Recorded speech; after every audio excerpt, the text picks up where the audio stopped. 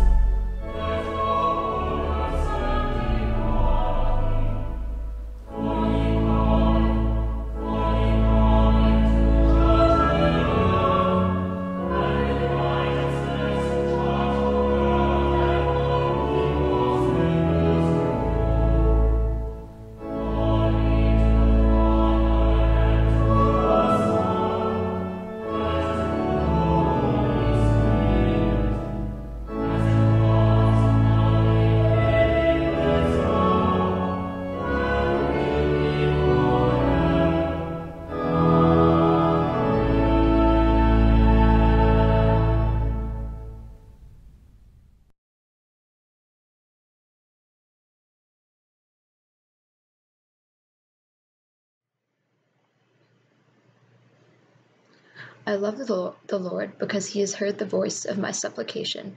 because he has inclined his ear to me whenever I called upon him. The cords of death entangled me, the grip of the grave took hold of me. I came to grief and sorrow. Then I called upon the name of the Lord. O Lord, I pray you, save my life. How shall I repay the Lord for all the good things he has done for me? I will lift up the cup of salvation and call upon the name of the Lord. I will fulfill my vows to the Lord in the presence of all his people.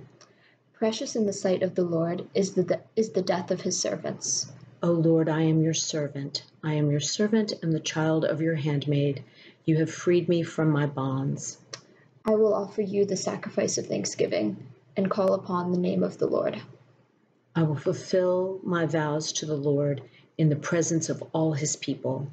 In the courts of the Lord's house, in the midst of you, O Jerusalem. Alleluia. Glory, to, the, Father, and to the Son, and to the Holy Spirit, as it was in the beginning, is now, and will be forever. Amen.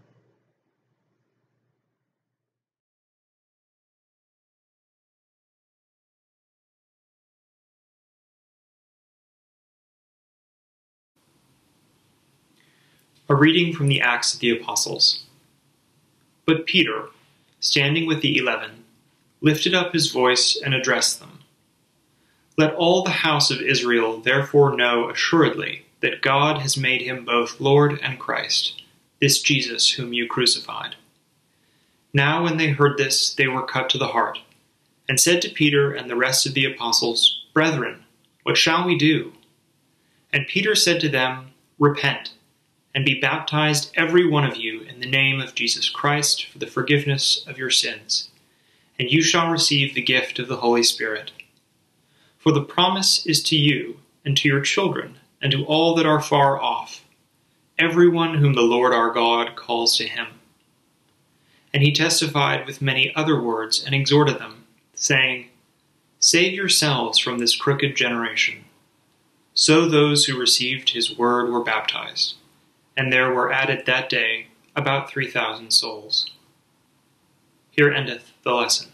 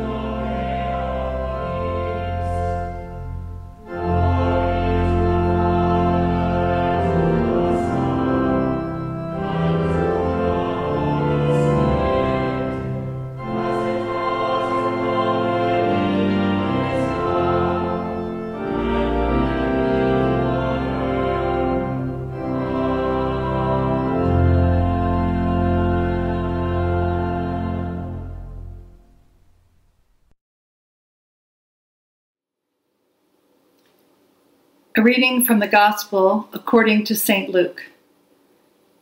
That very day, two of them were going to a village named Emmaus, about seven miles from Jerusalem, and talking with each other about all these things that had happened.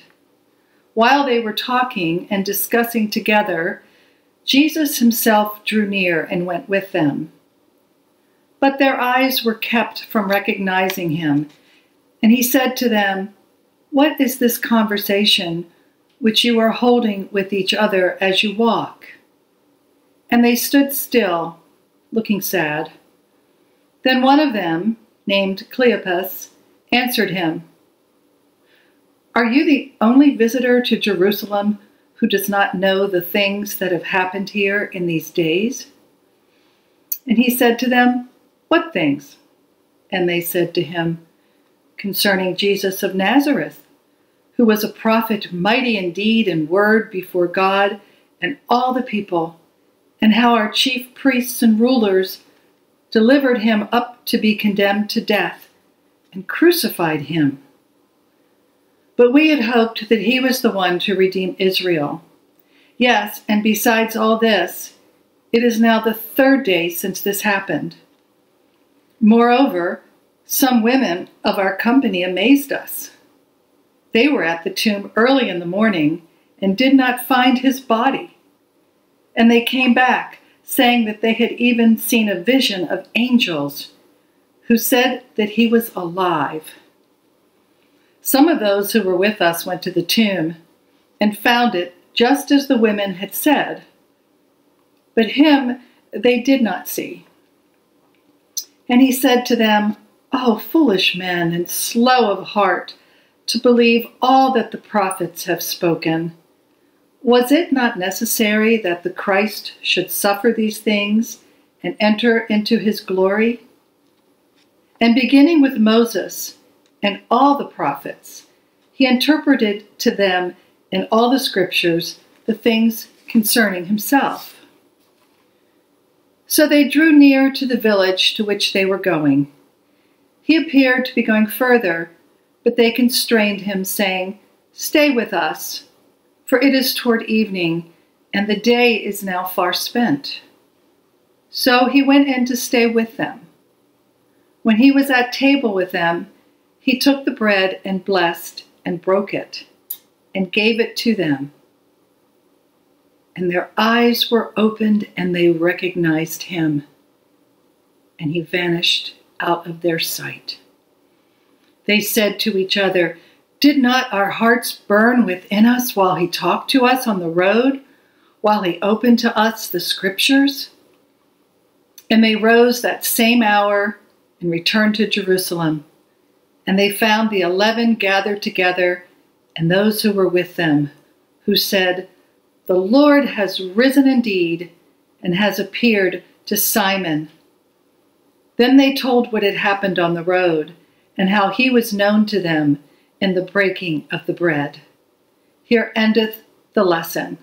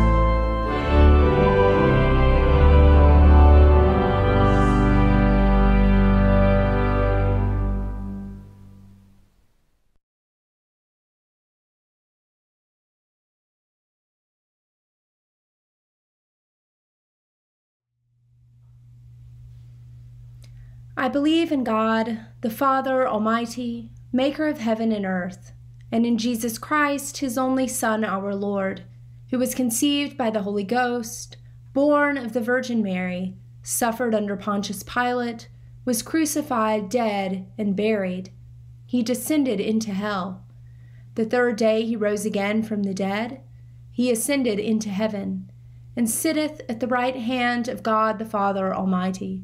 From thence he shall come to judge the quick and the dead. I believe in the Holy Ghost, the holy Catholic Church, the communion of saints, the forgiveness of sins, the resurrection of the body, and the life everlasting. Amen. The Lord be with you.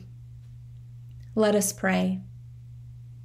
Our Father, who art in heaven, hallowed be thy name.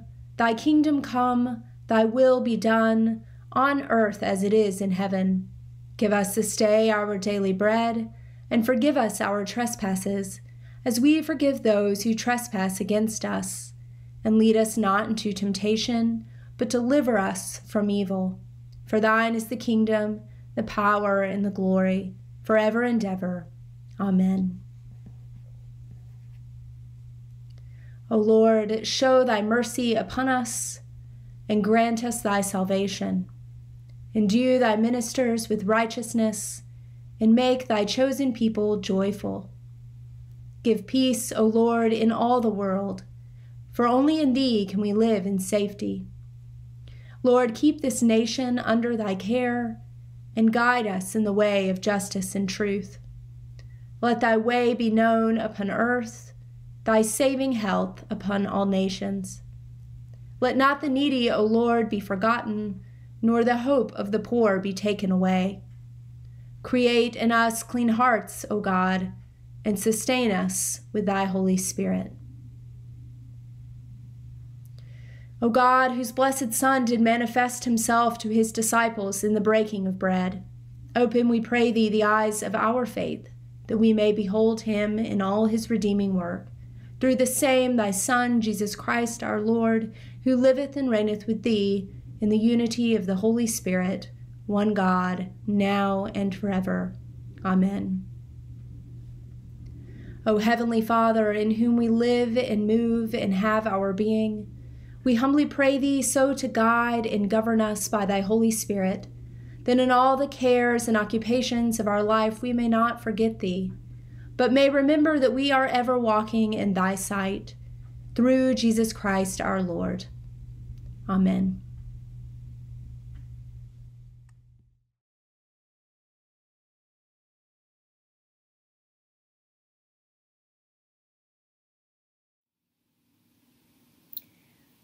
We pray for the world that God has made, for peoples and nations, for those who serve in local, state, and national government, and in the armed forces we pray for this city and for all who live, work, study, and worship here. We pray for the church throughout the world, for this diocese, for Mariann, our bishop, and for the clergy of Christ Church.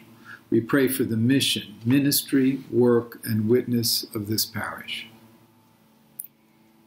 We pray for all who have been impacted by the global pandemic especially those who are members of the Christ Church community. We pray for all who are on the front lines of the fight against the coronavirus, especially doctors, nurses, and other healthcare providers, for researchers, and for policymakers. We pray for an end to the crisis and for the restoration of health, wholeness, and stability.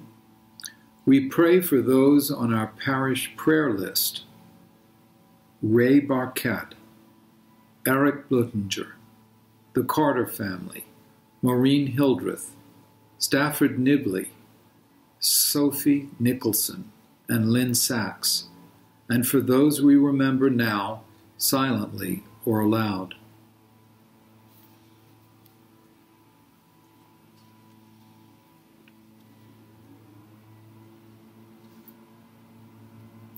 We pray for all thy servants departed this life in thy faith and fear, especially Jane Dawson, Kay Hoffman, Andre Moore, John Benjamin Varney, and Gertrude Wilson, and for those we remember now, either silently or aloud.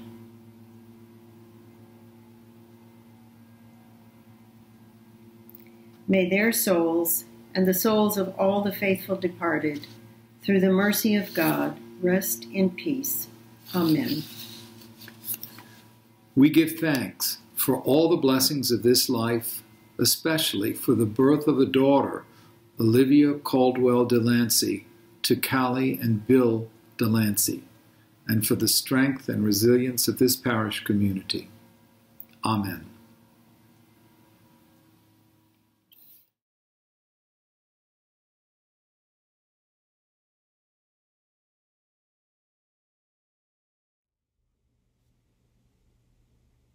Almighty God, Father of all mercies, we, thine unworthy servants, do give thee most humble and hearty thanks for all thy goodness and loving kindness to us and to all men. We bless thee for our creation, preservation, and all the blessings of this life, but above all for thine inestimable love in the redemption of the world by our Lord Jesus Christ, for the means of grace and for the hope of glory. And we beseech thee, give us that due sense of all thy mercies, that our hearts may be unfeignedly thankful, and that we show forth thy praise not only with our lips, but in our lives, by giving up ourselves to thy service, and by walking before thee in holiness and righteousness all our days, through Jesus Christ our Lord, to whom with thee and the Holy Ghost to be all honor and glory, world without end. Amen. Almighty God, who hast given us grace at this time, with one accord to make our common supplication unto thee, and hast promised through thy well beloved Son, that when two or three are gathered together in his name, thou wilt be in the midst of them. Fulfill now, O Lord, our desires and petitions of thy servants as may be best for us, granting us in this world knowledge of thy truth, and in the world to come life everlasting. Amen. Let us bless the Lord. Alleluia, alleluia. Thanks be to God. Alleluia, alleluia. Glory to God, whose power working in us can do infinitely more than we can ask or imagine. Glory to him from generation to generation in the church and in Christ Jesus forever and ever. Amen.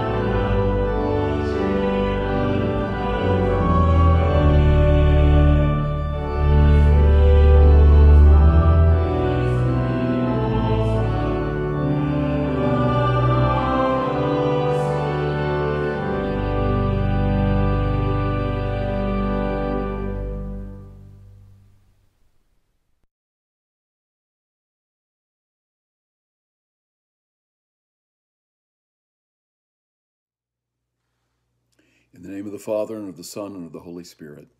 Amen. That same day, on the first day of the week, two of Jesus' followers were going to a village called Emmaus, about seven miles from Jerusalem, and talking with each other about all these things that had happened.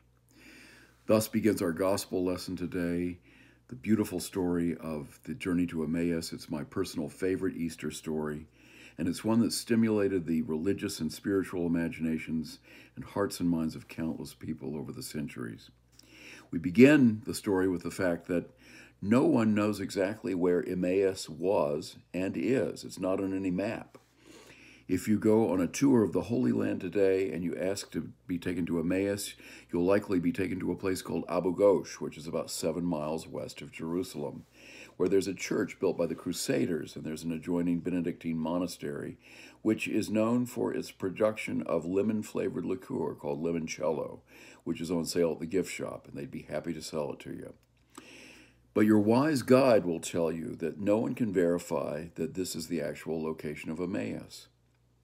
In one of his essays, the great preacher and author Frederick Buechner says that we might as well call Emmaus Nowheresville. These sad, disconsolate travelers were on the road to Nowheresville. Think of, for you rock fans, you can think of the Talking Heads song, perhaps. We're on the road to nowhere. And maybe that's just how some of us feel right now during these trying times that we're living in. When I think of the story of the journey to Emmaus, I also invariably think of T.S. Eliot's despairing poem of the early 1920s, The Wasteland, which begins April is the cruelest month, breeding lilacs out of the dead land, mixing memory with desire. But in part five of that poem, which is called What the Thunder Said, there's a stanza that reads, Who is the third who always walks beside you? When I count, there are only you and I together. But when I look ahead up the white road, there's always another walking beside you. Gliding, wrapped in a brown mantle, hooded, I do not know whether a man or a woman. But who is that on the other side of you? If you're hoping that Eliot is referring to Christ, he does in his footnote to the poem uh, mention the journey to Emmaus as an image, but he also reports on one of the Antarctic expeditions of the explorer Shackleton, in which the overextended explorers reported that um, they were always having the con- consistent delusion that there was always one more than the actual member in their party. So, are we really ultimately on the road to nowhere? Are we living with a delusion or an illusion? The answer, of course, for people of faith is a resounding not so. No way. The late Henry Nouwen wrote an entire book on this gospel passage called With Burning Hearts. And with his customary luminosity, Nouwen tells us that the dynamic movement and structure of the story is the same dynamic movement and structure that we experience when we gather for the liturgy of the Eucharist. So let me say a little bit more about that. In his book, which is titled The Dynamics of Religion, the English priest Bruce Reed likened the church to a filling station. We come together on Sundays after a long week with the challenges and stresses of daily life, and we're sometimes running almost on empty. Not unlike the two sad travelers on the way to Emmaus. They encounter the Christ whom they don't recognize, and he quotes scripture to them and gives an explication, just as we on Sundays in the liturgy of the Word, we hear Scripture, and then, if the preacher is worth his or her salt, we hear an explication of that Scripture in a sermon that hopefully quickens our hearts and fills us with a longing for the promise of good news, which builds through the creedal affirmation, our confession and absolution, and the passing of the peace. And we then move to the sharing of a sacred meal, just as the travelers invited Christ to stay with them for supper when they arrived at their destination. At table, as in the story, as he takes bread, blesses it, and breaks it, their eyes are opened, and they see the stranger for whom he truly is, the resurrected Lord. Just as we reach a climactic moment in our liturgy when the celebrant elevates the host and proclaims, Behold the Lamb of God, behold him who takes away the sins of the world. And we receive him in this sacred meal. that he may dwell in us and we in him, as the liturgy says in the Book of Common Prayer. And we're filled again with the presence of the risen one. We're refueled to carry him into the world, just as the travelers with burning hearts rush back to Jerusalem to tell the disciples that they have seen the Lord. Sadly, we're missing this sacred meal at, as a gathered community at this time because of the pandemic. And I'm reminded of Mike, Bishop Michael Curry's words in his Easter sermon from a couple of weeks ago, in which he said, doesn't look like Easter, doesn't feel like Easter, doesn't smell like Easter, but it is Easter. We will not be feel, filled with the presence of Christ in the sacred meal in which we partake at, the, at this present time. But it is Easter. And I'm reminded in the Gospel of Matthew of what the angel said to the two women on Easter morning at the empty tomb. The angel announced that um, he is not here, he is risen, and goes on to say, He's been raised from the dead, and he's going ahead of you into Galilee. There you will see him. It reminds me that the first message of Easter is get up, start walking. The word for resurrection in Greek is anastasis, which literally means to stand again. We've stumbled, we've fallen down, we're in a hole. We are grieving at the tomb of Jesus, but we're bidden to stand again and to walk forward. Jesus is out there on the loose ahead of us somewhere, and we're going to find him on the way sooner or later. Like the two travelers in Emmaus, we may not recognize him at first. I'm reminded of an old favorite story of mine about the late Andre Previn, who passed away last year. If you're well acquainted with the music world, you'll know that Andre Previn, as a young man, lived in Hollywood, where he composed and arranged film scores. Later, he became a renowned conductor, most notably with the London Symphony Orchestra. But he was also an accomplished pianist who sometimes played jazz. And sometime in the late 1940s or early 1950s, Previn went to New York City for a visit, and he met up with a friend who said, Andre, would you like to meet Bud Powell? Bud Powell was one of the fathers of modern jazz piano. He lived in New York. He was uh, one of the giants on the East Coast jazz scene. He played with Charlie Parker and Dizzy Gillespie. Yes, said Andre Previn, I'd very much like to meet him. Well, his friend said, he's playing tonight at a club and I'll introduce you to him. So Andre Previn went down to this particular club. I don't know which one it was. It was somewhere probably along 52nd Street where there were a bunch of jazz clubs in those days. And he arrived early and he got a seat near the bandstand. He noticed that his friend was not there, and as it turned out, neither was Bud Powell. The musicians arrived and began playing the first set. No Bud Powell. Previn decided to be patient and wait to see if his friend and Bud Powell would show up. The musicians went on and played through the first set of music, went on their break, and came back to play the second set. Still no Bud Powell.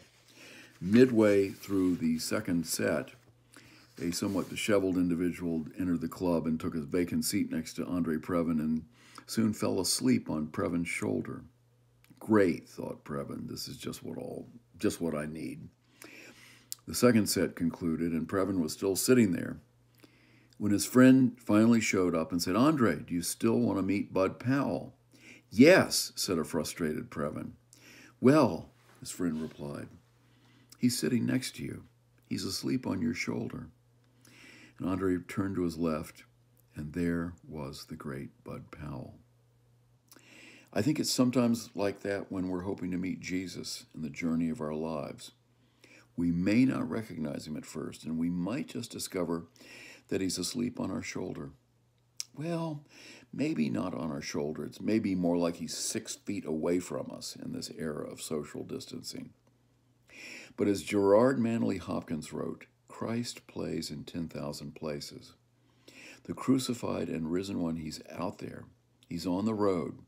He's there to give us encouragement and caring in these trying times. Watch for him. Listen to his words because he comes in different disguises. And anticipate being gratified that suddenly you may feel your heart strangely warmed or indeed burning. we're never headed on the road to Nowheresville. We're traveling with great hope because it is Easter. Let me close with the collect for the presence of Christ from the service of evening prayer, which is based on this gospel lesson. Lord Jesus, stay with us, for evening is at hand and the day is now past. Be our companion in the way, kindle our hearts and awaken hope, that we may know you as you are revealed in Scripture and in the breaking of bread. Grant this for the sake of your love. Amen.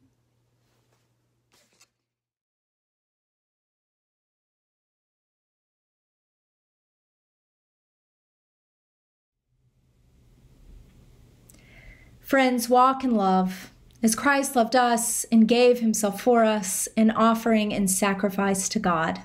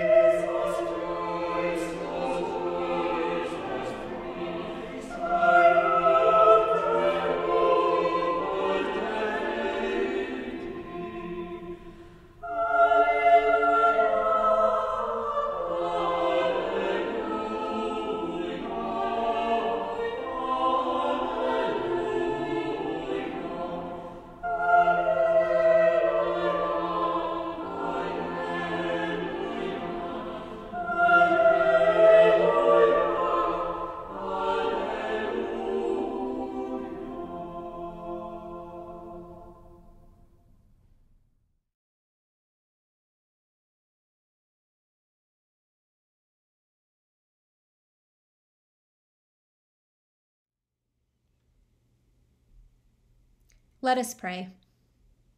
This hour we turn to you, O Lord, in full knowledge of our frailty, our vulnerability, and our great need as your mortal creatures.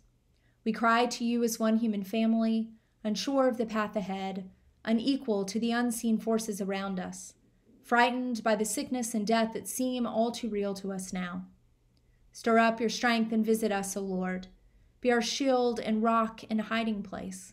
Guide our leaders, our scientists, our nurses, and doctors. Give them wisdom and fill their hearts with courage and determination. Make even this hour, O Lord, a season of blessing for us, that in fear we find you mighty to save, and in illness or death we find the cross to be none other than the way of life. All this we ask in the name of the one who bore all our infirmities, Jesus Christ, our risen and victorious Lord. Amen. Friends, may the blessing of God Almighty, Father, Son, and Holy Spirit be amongst you now and remain with you always. Amen.